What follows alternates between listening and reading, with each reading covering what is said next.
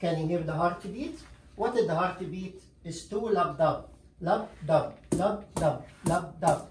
If you have any sound in between, it can give you any idea about any cardiac disease or cardiac death.